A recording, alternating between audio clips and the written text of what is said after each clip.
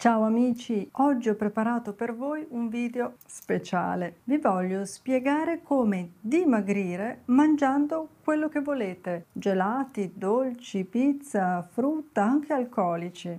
Ma Simona, sei impazzita? Hai preso un colpo di calore, una sventolata d'aria condizionata? No, sto benissimo. Perché?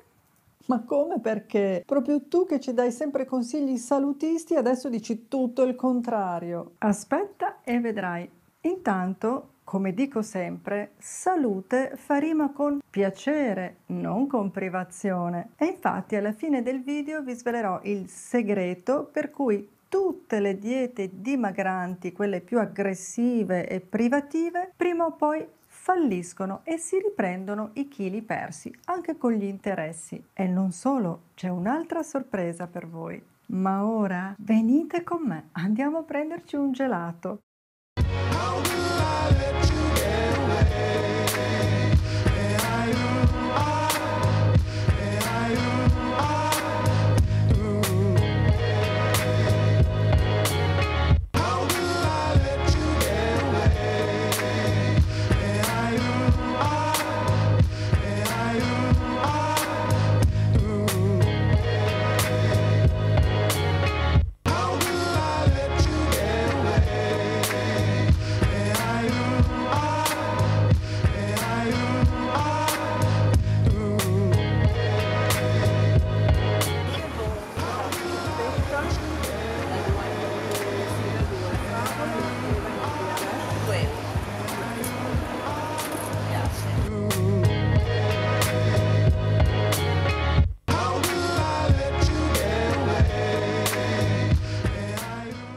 Ma scusa, il gelato non fa ingrassare? Come faccio io? I bambini al mare, quando hanno fame, si mangiano il gelato e tornano felici a giocare. Io sì, lo facevo. Allora ecco il mio segreto. Il gelato va mangiato da solo, piatto unico. Se non sapete resistere al gelato, rendetelo il vostro pranzo, volendo anche la cena, ma non siate superficiali. Scegliete un gelato leggero, magari senza latte o con latte di soia, dolcificato con fruttosio o altri ingredienti naturali. Oggi come oggi ogni città offre una gelateria che fa degli ingredienti sani il suo marketing. Ecco, va bene quella gelateria lì. Se invece avete in programma un gelato dopo cena, magari in compagnia, fate una cena leggera prima, a base di proteine magre, verdure, meglio se crude, come per esempio l'insalatona, quella che mangio io, che vi ho fatto vedere in questo video. Blink. Se non siete al mare ma in montagna o anche in città e avete voglia di sgarrare, potete fare un pasto proteico con una bella cioccolata calda con panna. La cioccolata calda è proteica adesso? Non ci sono carboidrati complessi, la panna contiene grassi e proteine e se scegliete il cioccolato fondente con almeno il 35% di cacao ha anche poco zucchero ed è buonissima e con il dolce siete a posto per un bel po'. Per un periodo ho seguito un'alimentazione proteica, sono rimasta io stessa scioccata quando ho trovato la cioccolata con panna tra gli alimenti concessi, ma poi è diventata il mio dolce preferito tra quelli possibili. E poi scusate, caldi o freddi, a chi non piacciono i dolci, almeno ogni tanto? E allora, se siete d'accordo, mettete un bel mi piace a questo video. Tanti mi piace, tanti nuovi video.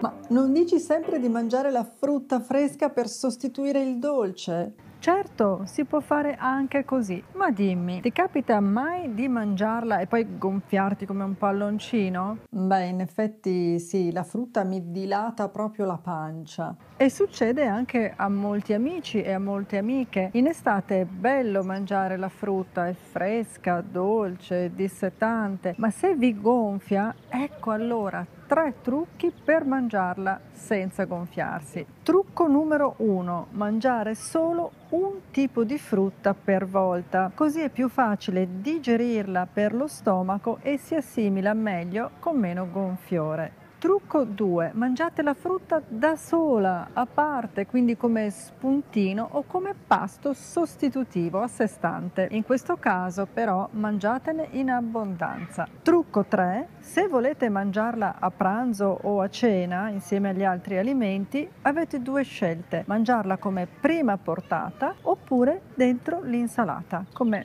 antipasto. Io per esempio a pranzo mangio solo frutta, pesche. Mmm Buonissime.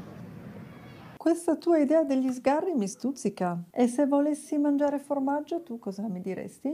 Oh sì, il formaggio è una tentazione per molti di noi. E allora cediamo questa volta, ma con furbizia. Basta scegliere i formaggi a pasta dura stagionati come il parmigiano, il grana, il pecorino, perché sono più digeribili e naturalmente poveri di lattosio, ma non più di una volta alla settimana però. Li potete accompagnare con crackers integrali, gallette di riso o mais o pane carasau sardo, così almeno sono più leggeri.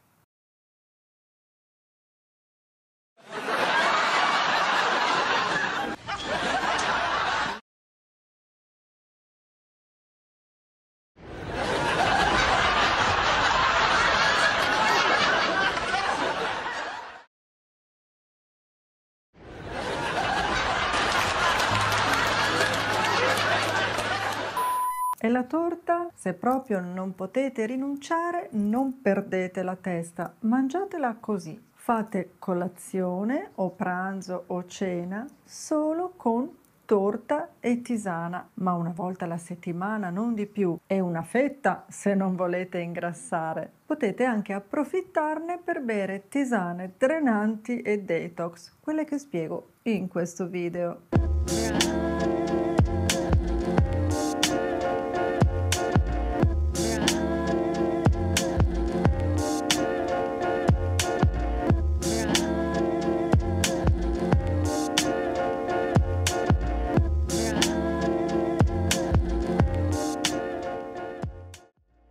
Squaletto chiede se può mangiare la pizza. Certo, pizza e dimagrimento possono andare d'accordo. Pizza e quattro formaggi, stiamo arrivando! Aspetta, c'è un trucco. Per dimagrire mangiando pizza, fatela fare senza mozzarella o senza formaggi. Semplice, con verdure o altri condimenti leggeri, come faccio io. Ce ne sono tanti che non sono formaggi o salumi. Così non sarete costretti a inventarvi scuse per defilarvi ogni volta che vi vi invitano fuori a cena. Se volete vivere la vostra estate in forma ma senza rinunce, basta seguire gli altri consigli che trovate nella mia playlist In forma per l'estate. Il link è in descrizione qui sotto. E per non perdervi neanche un video, basta iscriversi al mio canale, è facile, basta un clic così e attivate la campanella delle notifiche. Vedete, questa è la pizza prima di Simona e questa è la pizza dopo Simona. E dell'ammazzacaffè cosa mi dici? I was really feeling kinda low But you've got the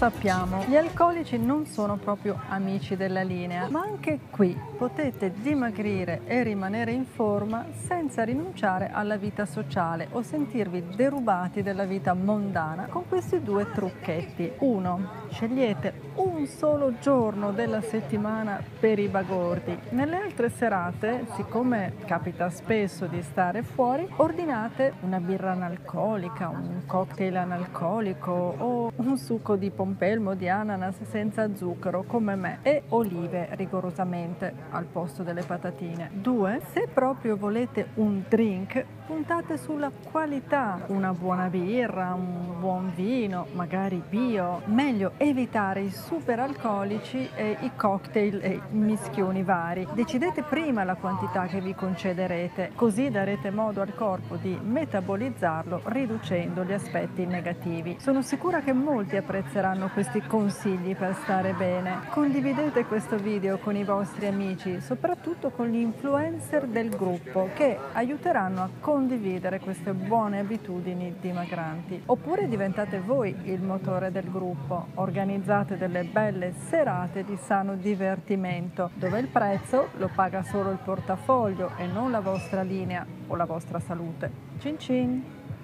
Aspetta, e i segreti di cui parlavi all'inizio? Eccole qui. Il problema con le diete shock è che causano un senso di privazione a cui il corpo reagisce nel modo opposto. Invece di liberarsi del grasso lo trattiene perché teme di non riuscire più ad avere abbastanza nutrienti. Per questo una volta finite poi si aggiunge grasso su grasso e si riprendono ancora più chili. Ma va? Sì, e questo ci porta al secondo segreto. Non siate come quelle persone che trasformano la dieta dimagrante in un incubo che le tiene lontane dalla vita sociale e impedisce di fare nuove conoscenze. Nessuno ha piacere a frequentare persone che no, questo non lo posso mangiare, no, quello non lo posso mangiare, no, lì non posso venire, no, non posso prendere niente perché, perché, perché.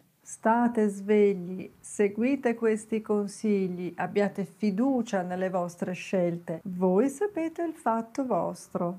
E noi ci vediamo al prossimo video, naturalmente. Ciao!